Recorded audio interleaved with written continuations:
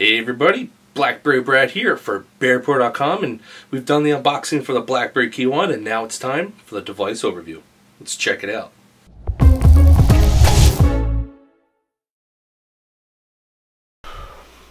Alright, so here it is, the BlackBerry KEYone. Uh, at first look, you can tell this is a great looking device. It's a gorgeous device, just laying there. Uh, it's a not too tall of a device. It's about five inches tall.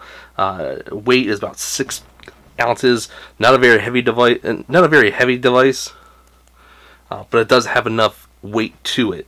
Uh, and what I mean by that, it's got a great feel in the hand uh, for this device. So when you pick it up, you don't feel like you're gonna you're gonna drop this device or anything like that. Uh, if you do drop the device, you're gonna feel like it's gonna be protective.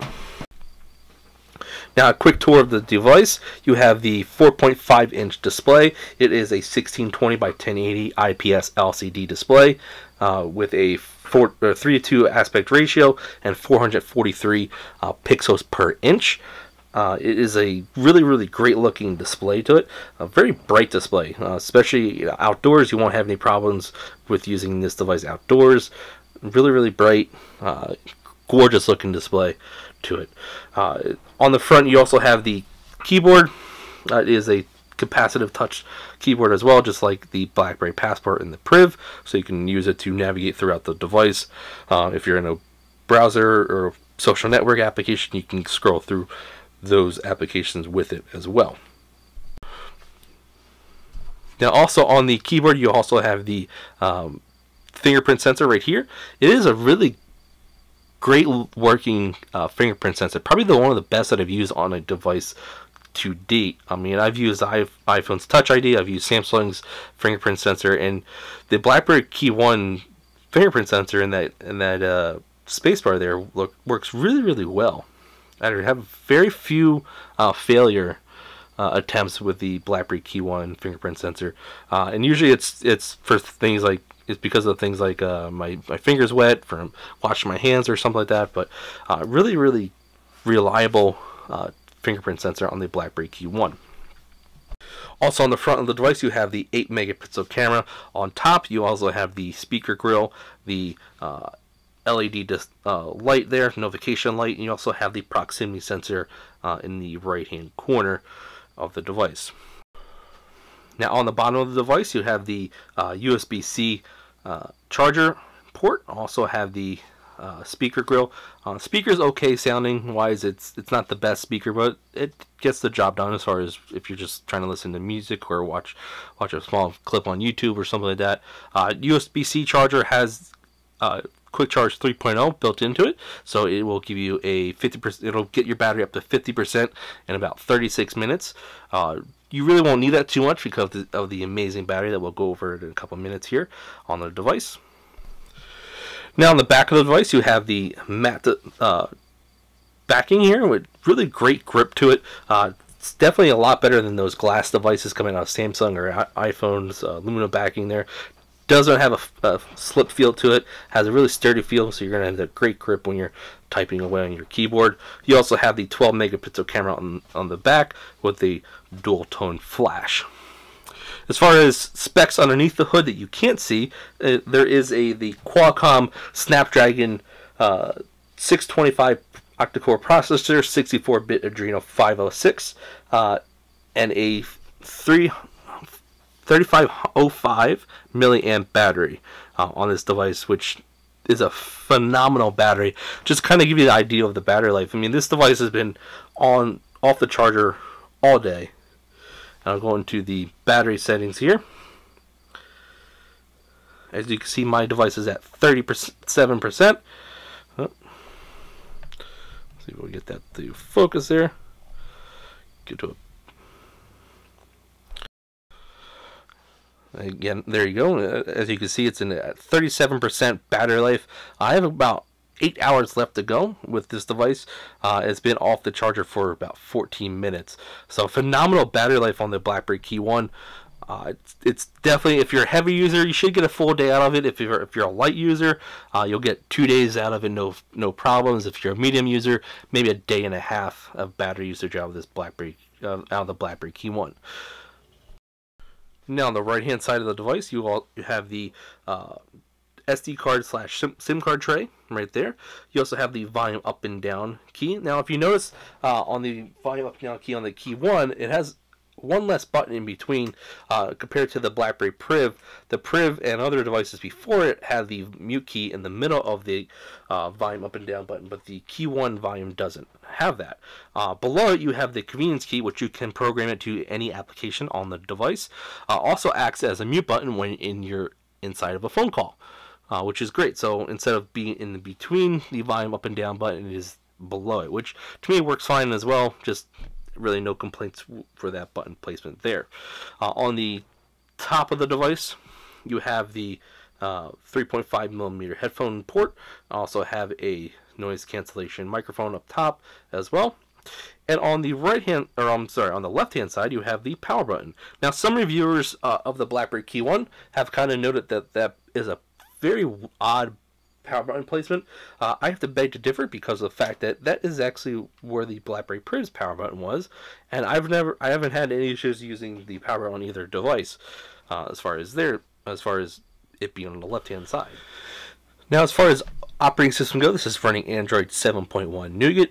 Uh, to me, it's really, really great operating system. Uh, one thing with the the BlackBerry KEYone is a lot of people have kind of given gripe about the 625 processor, but with this device and Android 7.1, BlackBerry and, and TCL have really optimized this device to give you one great battery life on, on the device and also give you really, really great performance. Uh, now, it's not the greatest performance, definitely not the greatest processor, but you can have a good amount of applications on this device running at the same time and really not have any issues with that. Uh, for instance, if I go ahead and just start open up applications on the device, workspace, Netflix,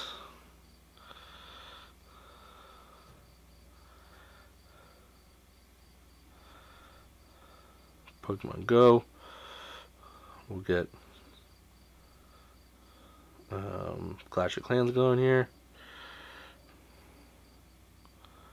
Really not slowing down on the on this device. I mean, it has a little hiccups, but you can see I have a good amount of applications running in the background, and really not seeing any type of slowdowns for it.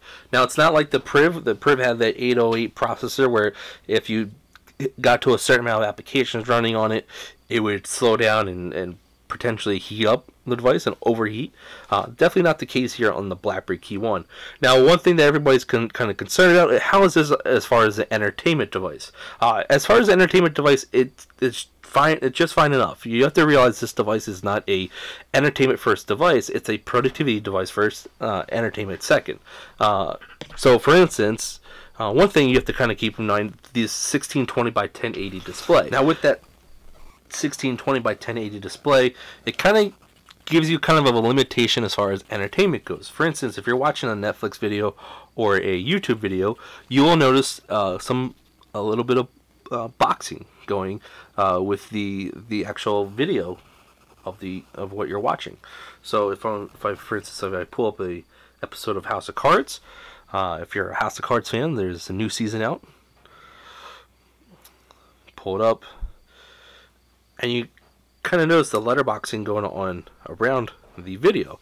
Now it's still enjoyable, and you can still watch the video with you know doing whatever you're doing, but it doesn't give you that full uh, display when you're watching a video.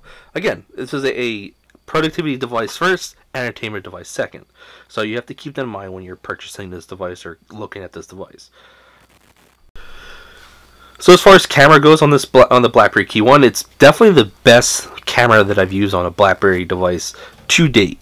Uh, it, with that uh, 12 megapixel camera on the back, really takes great uh, photos.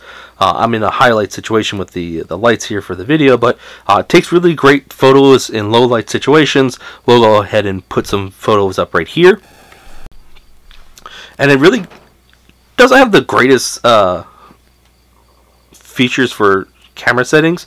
Uh, if you're a you know advanced photographer, uh, you're probably notice some features uh, such as raw image missing, uh, but you know it, it, it's you know, it gives you manual shooting controls, uh, but that's pretty much some of the, the, best features that are in the uh, actual settings for the camera. But you know, it's still doable. You know, it's a fine enough camera to be using uh, on your smartphone. Uh, one of the cool features that you can use with the uh, capacitive keyboard, uh, you can kind of use it to scroll up and throughout your different settings. So if I want to adjust the white balance level, I can do so just by scrolling up and down on the keyboard. device also records video. Uh, you can record in 1080 and you can also record in 4K. Uh, the 4K option uh, will reduce your battery life a little bit just because that 4K option. Uh, it does record 4K in 30 frames per second. Uh, so keep that in mind. You also can drop it down to 24 frames per second as well. Uh, again, 1080 is available to you. Uh, 720 in 60 frames per second as well. Uh, so it's really good camera for video recording as well. Great for taking photos. You also have a slow motion mode that you can utilize. As far as the front facing camera goes, it is a 8 megapixel front facing camera. You can't switch it while you're in that mode. There we are. So that is the front-facing camera on the BlackBerry KEYone. It's a really great camera, uh, great for taking selfies. We'll take one now. Uh, and it is really don't have any issues with the front-facing camera. There uh, is an option there for you to have the uh, light up LCD, so it actually uh, utilize the LCD as a flash uh, if you're in a low light situation. Uh, so it, it records 1080 videos. That's the highest video setting it will go for the front facing camera. It'll record that in 30 frames per second as well.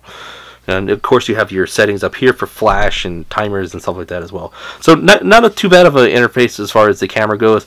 Uh, could be better, but uh, I'm sure that's something that BlackBerry and TCL could update with a software update on their device.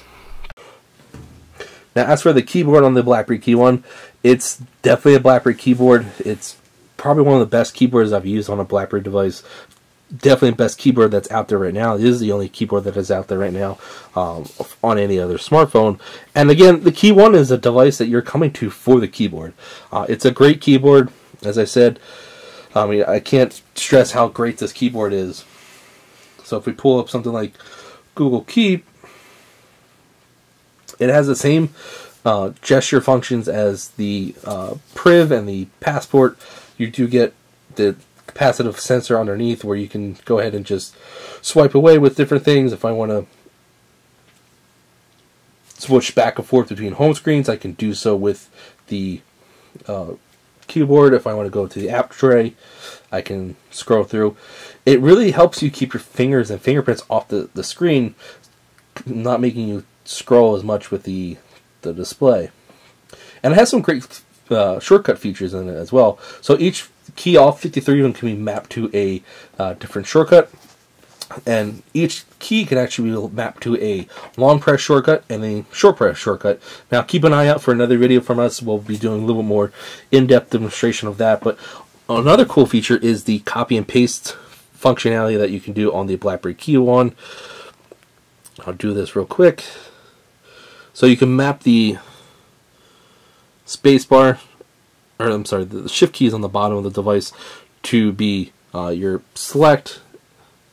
So if I double tap there and hold down on my left shift key, I can highlight the text there. And if I go ahead and hit the right shift key and hit shift C, it's going to copy that text that I just highlighted. Now if I hit control V, it's going to paste what I just highlighted and copied. Great functionality for the BlackBerry KEYone keyboard there. Alright, there it is, the overview for the BlackBerry KEYone. Thank you for watching. As always, make sure you subscribe to the BerryReporter.com YouTube channel if you haven't done so already. Also, like the video. Uh, you can hit that like button below the video. Definitely helps out the channel a lot. Uh, make sure we get noticed in the intertwines of YouTube. Uh, and also stay tuned to BerryReporter.com for a full written review of the Bear, uh, the BlackBerry KEYone. Also stay tuned for the video review of the BlackBerry KEYone as well. Till then, Blackberry Brad out.